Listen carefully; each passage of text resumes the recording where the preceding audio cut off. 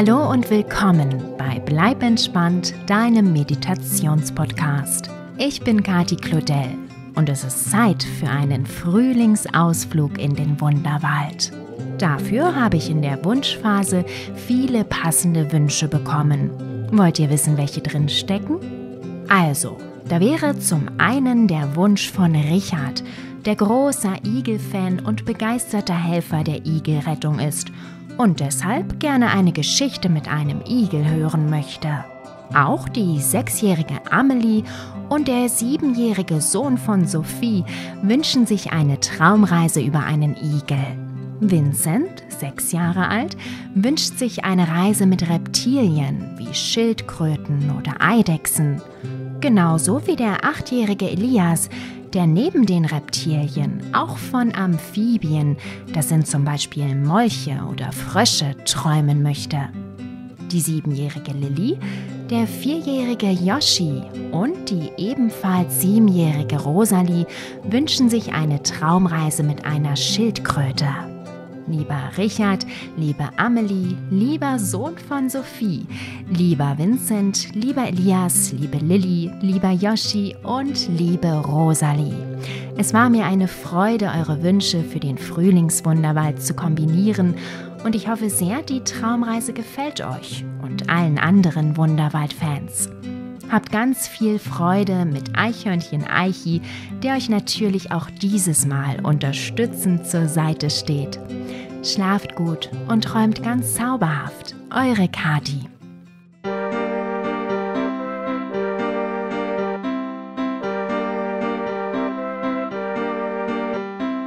Hallo du!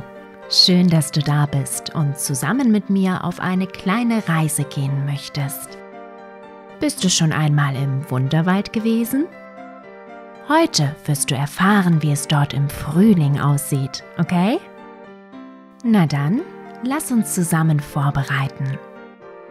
Lege dich ganz gemütlich in dein Bett, so wie du gerne liegen möchtest, und schließe bitte deine Augen. Und jetzt Stelle dir vor, mit jedem Einatmen würdest du ein leuchtend grünes Licht in deinen Körper atmen. Wenn du ausatmest, breitet es sich in dir aus. Atme einmal tief durch die Nase ein und sieh zu, wie das grüne Licht in deinen Körper strömt. Atme durch den Mund aus und und spüre, wie sich das Licht in dir ausbreitet. Atme durch die Nase ein und hole dabei noch mehr grünes Licht in deinen Körper. Atme durch den Mund aus und spüre, wie gut sich das grüne Licht in dir anfühlt. Atme noch einmal grünes Licht durch deine Nase ein. Atme durch den Mund aus. Das grüne Licht strömt nun durch deinen ganzen Körper und hinterlässt ein wunderschönes Gefühl in dir.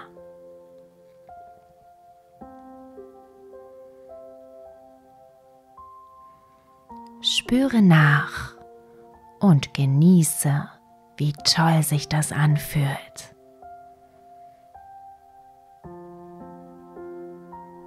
Dabei kannst du deinen Atem wieder so fließen lassen, wie er gerne fließen möchte. Und fühle, wie du dabei immer ruhiger und ruhiger wirst.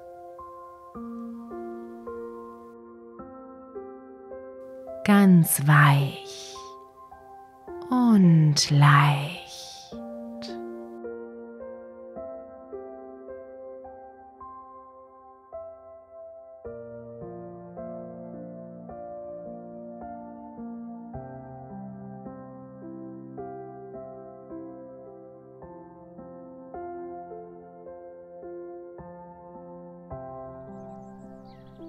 Und jetzt stelle dir vor, du stehst im Wunderwald. Und du meine Güte, wie schön das hier duftet. ein bisschen würzig, aber auch leicht zitronig. Das kommt sicher von der blühenden Douglasie dort.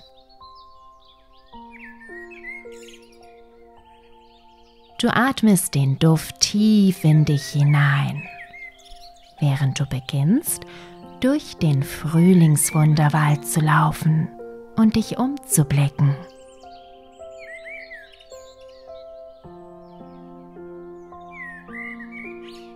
Wie schön es hier ist zu dieser Jahreszeit.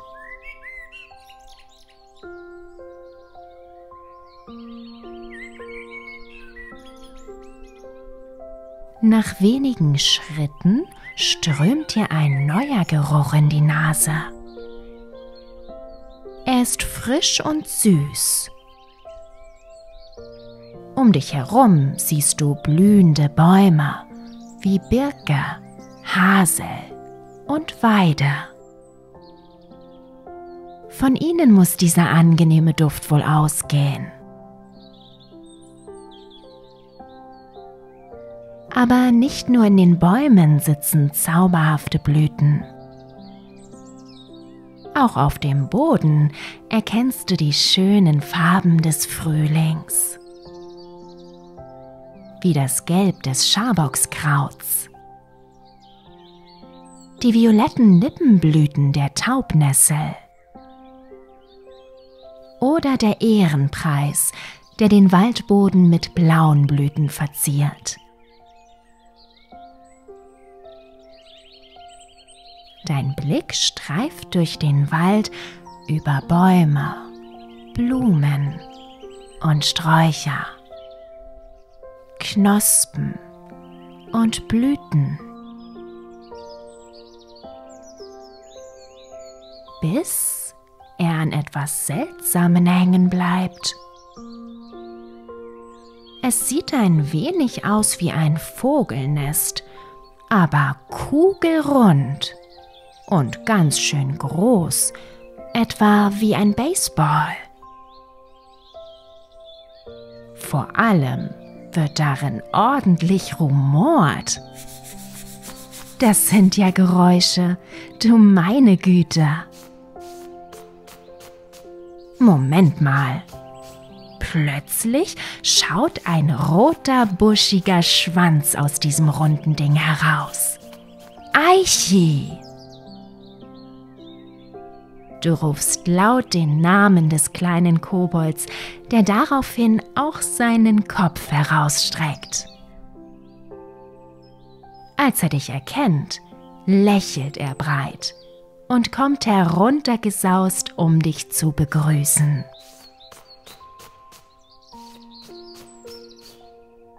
Du fragst das Eichhörnchen, was er denn dort oben in dem Ding da treibt. Eichi ist entrüstet. Er sagt dir, dass dieses Ding da sein Kobel, also sein Zuhause ist. Und das hat er ganz alleine gebaut. Jetzt nach dem Winter war er dabei, es ein wenig herzurichten. Frühjahrsputz eben. Beeindruckt blickst du zum Kobel des Eichhörnchens und entschuldigst dich für deine unbedachten Worte. Du sagst ihm, wie toll sein Zuhause aussieht. Der kleine Kobold schaut dich besänftigt an und fragt, ob du eine Tour durch den Wunderwald im Frühling haben möchtest. Ja, sicher willst du das. Los geht's. Das Eichhörnchen flitzt voraus und du beeilst dich, mit dem flinken Kobold Schritt zu halten.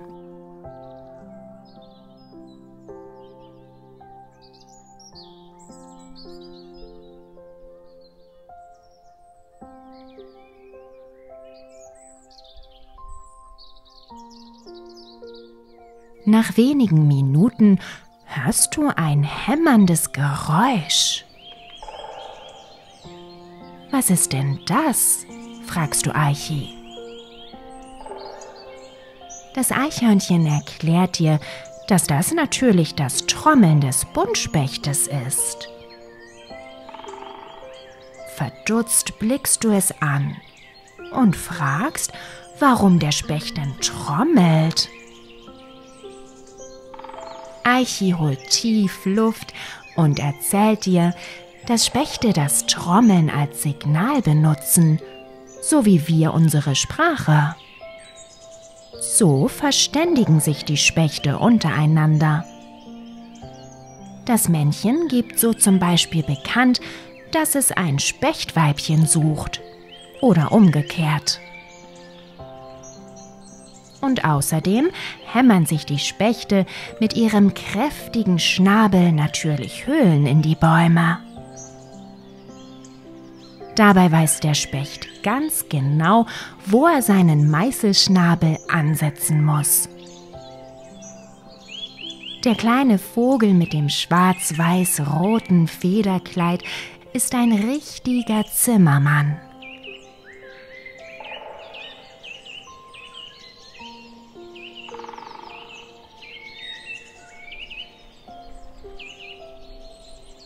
Vor euch lichten sich jetzt die Bäume und eine wunderschöne Frühlingswiese kommt zum Vorschein. Gelbe und weiße Schmetterlinge fliegen darüber hinweg.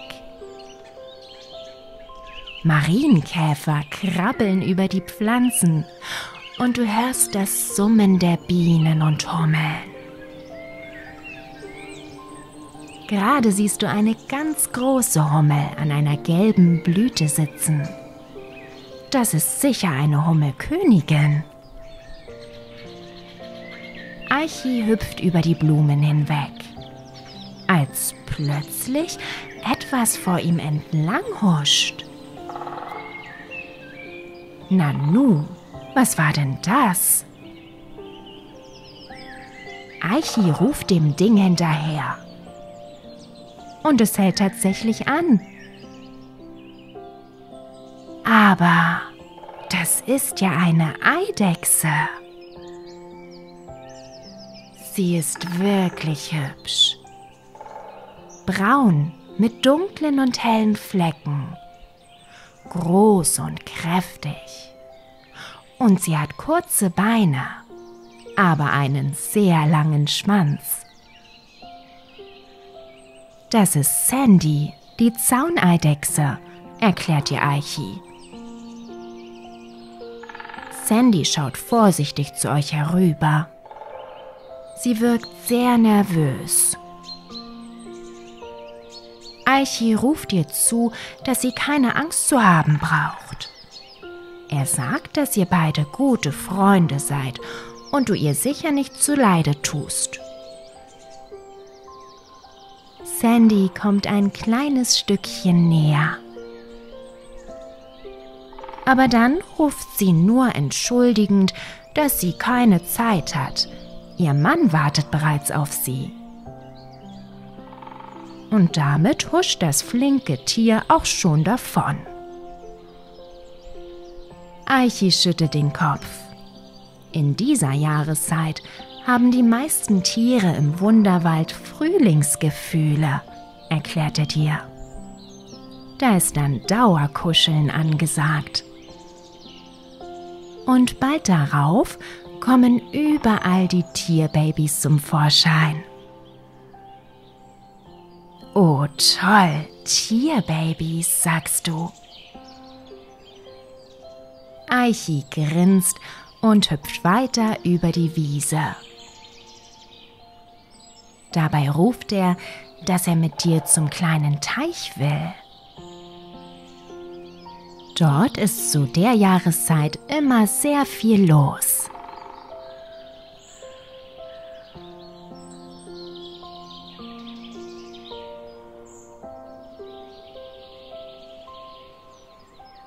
Doch dann hält er plötzlich an und blickt zu einem großen Busch.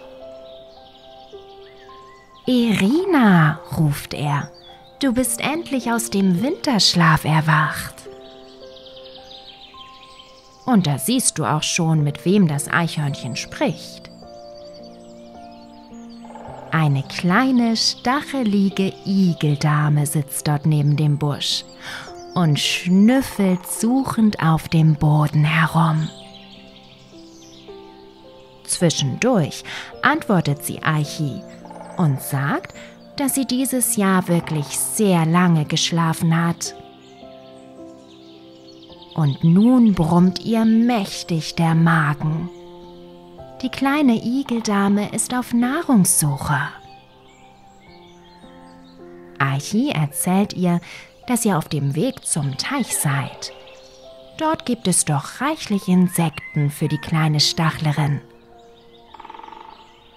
Der kleine Kobold lädt Irina ein, mit euch zu kommen. Die Igeldame überlegt kurz und stimmt schließlich zu. Gemeinsam setzt ihr euren Weg fort. Und du staunst nicht schlecht, als du siehst, wie schnell Irina auf ihren kurzen Beinchen flitzen kann.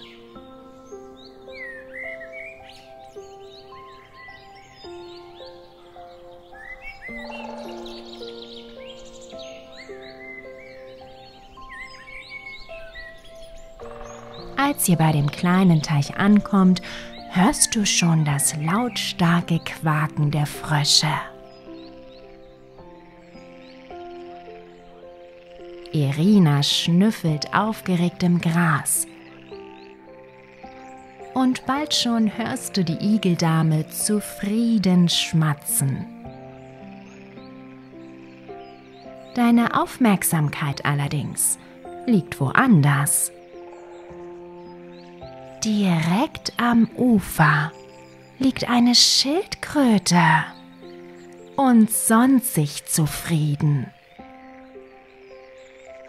Aichi, der deinem Blick gefolgt ist, berichtet dir, dass das Terrapin ist, die europäische Sumpfschildkröte.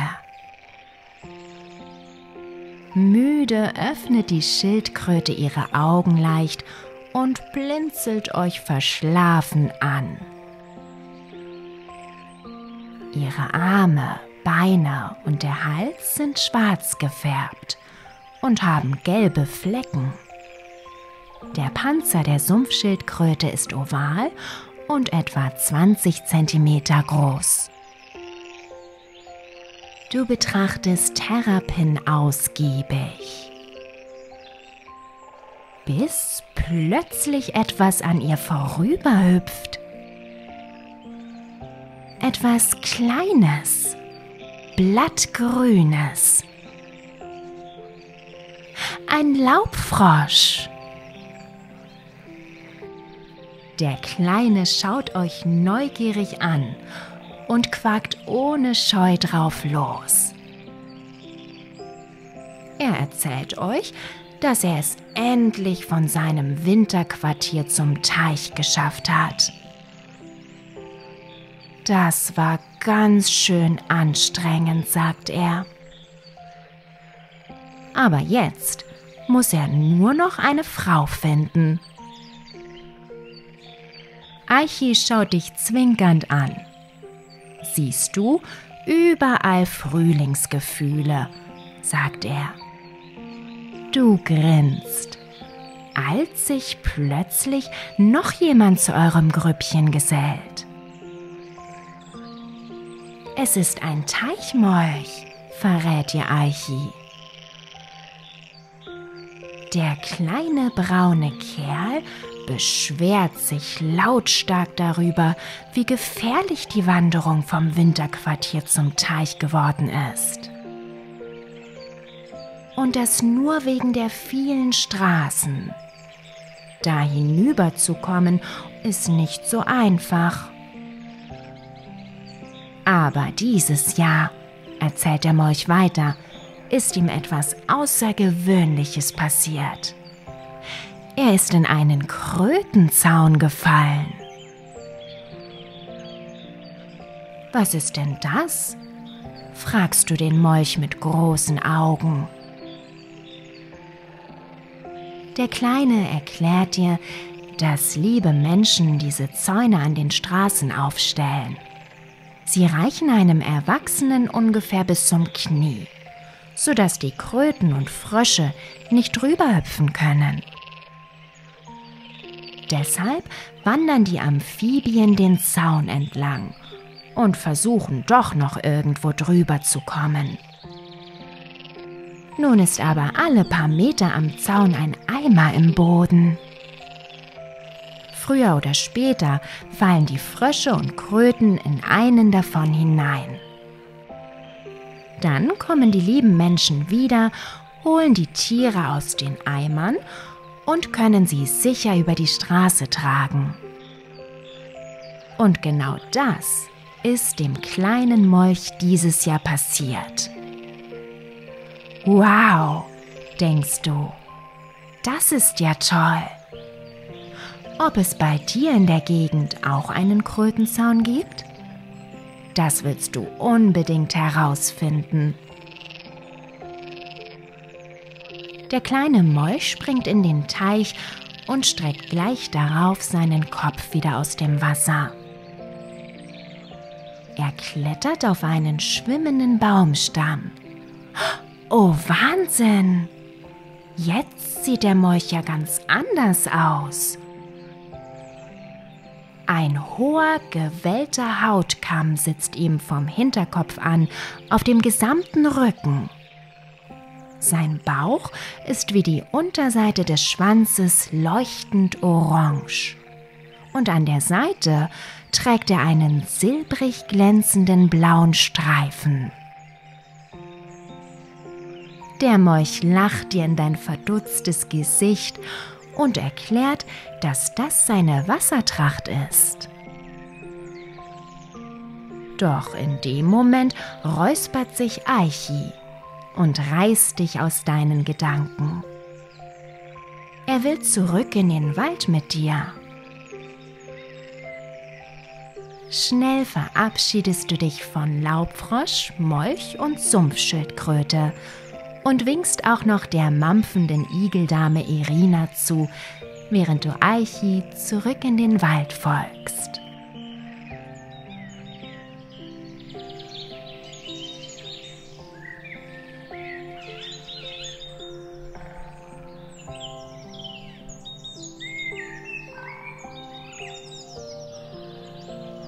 Nachdem ihr ein paar Schritte durch den Wald gelaufen seid, nimmst du ein herzzerreißendes Zwitschern wahr.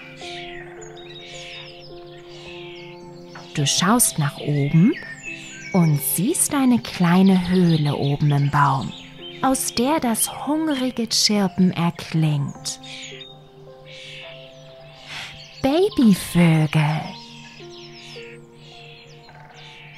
Du kannst ihre kleinen gelben Schnäbel sehen, die sich hungrig aus dem Baumloch strecken. Und da kommen auch schon Mama und Papa angeflogen, mit vollen Schnäbeln, um ihre Babys zu füttern. Es sind Stare. Ihr weiß getupftes Gefieder glänzt schwarzblau in der Sonne. Und jetzt zwitschern die Babystare nochmal so laut. Endlich gibt es etwas zu futtern und jeder will der Erste sein. Du grinst breit zu der Starfamilie hinauf, während du mit Eichi langsam weitergehst.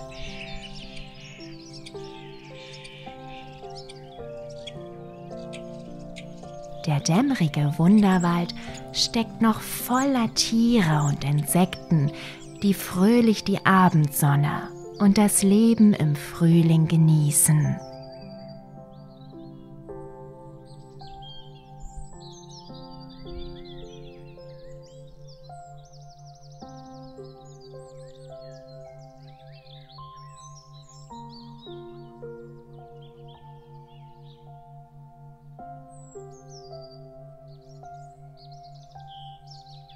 Allmählich wird es Nacht im Wunderwald. Die untergehende Sonne hat nur noch wenige orangerote Strahlen übrig gelassen, die zauberhaft durch die Bäume schleichen und den Wunderwald in ein geheimnisvolles Licht hüllen. Eichi gähnt laut und genüsslich. Das sieht gleichzeitig so süß und komisch aus, dass du lachen musst. Doch in diesem Moment hörst du noch ein anderes Geräusch. Nanu, es klingt wie das Lachen kleiner Kinder. Sind hier etwa noch andere Traumreisekids unterwegs, außer dir? Auf jeden Fall scheinen sie ganz schön viel Spaß zu haben. Du gehst dem Geräusch nach.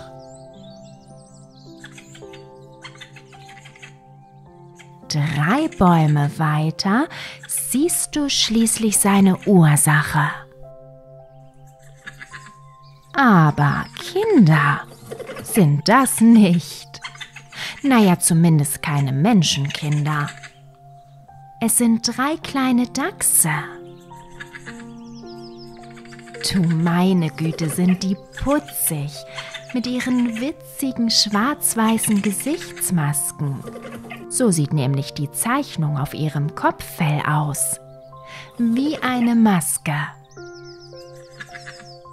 Und die süßen kleinen Ohren, wie sie lustig wackeln, während die Dachskinder fröhlich miteinander spielen. Und ja, lachen. Die Dachskinder lachen. Zuckersüß.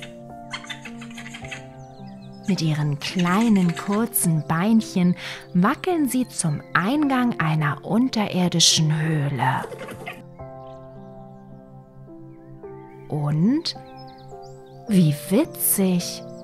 Sie rutschen den Gang hinab, als wären sie auf einem Spielplatz. Deshalb heißen die Gänge im Dachsbau also Rutschrinnen. Der kleine Dachs, der gerade hinuntergesaust ist, kommt wieder aus dem Bau und macht Platz für den nächsten. Dann schnuppert er aufgeregt in eure Richtung und entdeckt Eichi und dich im Gebüsch. Eichi hüpft fröhlich auf das Dachskind zu und begrüßt es. Der kleine Kobold scheint ein guter Bekannter in der Dachsfamilie zu sein. Die kleinen Dachse erzählen ihm gerade, dass Mama und Papa Dachs noch unten im Bau sind. Als ein Kratzen in den Gängen ankündigt, dass sich das wohl bald ändern wird. Und schon streckt Mama Dachs ihren Kopf aus dem Höhleneingang. Ist die aber hübsch. Das Weiß ihrer Gesichtszeichnung leuchtet strahlend hell in der anbrechenden Nacht und ihre dunklen Augen funkeln gut gelaunt. Sie begrüßt Eichi und dich herzlich und beginnt dann ausgelassen mit Eichi über die neuesten Geschehnisse im Frühlingswunderwald zu schwatzen.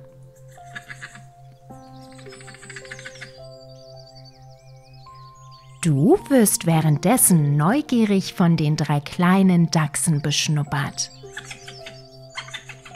Jetzt fragen sie dich, ob du auch mal rutschen magst.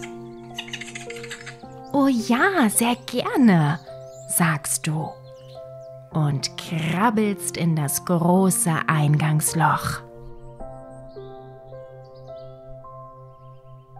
Und tatsächlich, der Gang der darauf folgt, geht wie eine Rutsche schräg hinab. Du nimmst mit den Händen ein bisschen Schwung. und saust hinunter. Oh, wie toll! Das macht ja richtig viel Spaß. Schnell krabbelst du wieder hinauf und lässt die drei kleinen Dachse rutschen. Immer abwechselnd saust ihr die Rutschrinne im Dachsbau hinab. So lange, bis euch schon beinahe der Popo brennt.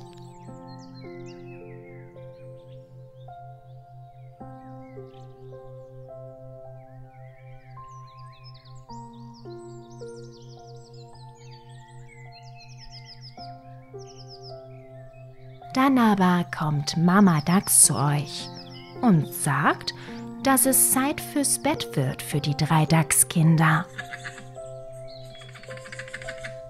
Eichi hüpft zu ihr und fragt sie, ob nicht noch ein Plätzchen für dich bei den Dachsen frei wäre. Schließlich brauchst du auch noch ein Schlafquartier. Na aber sicher, sagt Mama Dachs und schiebt dich hinter ihren Kindern in den Höhleneingang. Du kommst gerade noch dazu, dem roten Kobold zum Abschied zu winken und Tschüss Archi zu rufen, als du zum wiederholten Male die Rutschrinne hinabsaust. Du folgst den Dachskindern durch mehrere Gänge hindurch. Der Dachsbau ist wirklich ganz schön geräumig. Schließlich kommt ihr im Schlafkessel an, in dem schon Papa Dachs Moos und Gräser zusammenschiebt und es euch weich und gemütlich macht.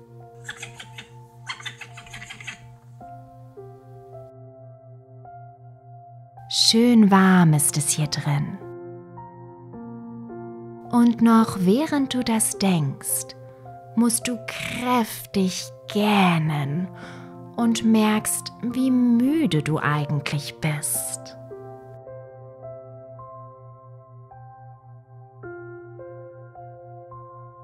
Zusammen mit der Dachsfamilie kuschelst du dich auf das weiche Polster und schließt deine Augen.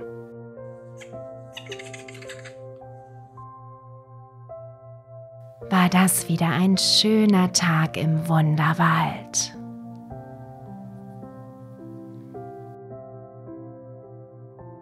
Du lächelst in dich hinein, während du die Müdigkeit durch deinen ganzen Körper fließen lässt.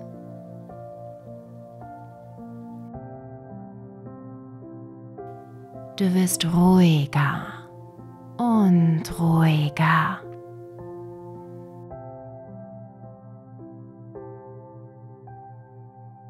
Weich und leicht.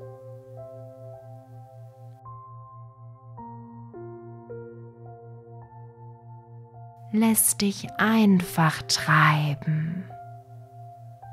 Immer weiter und weiter.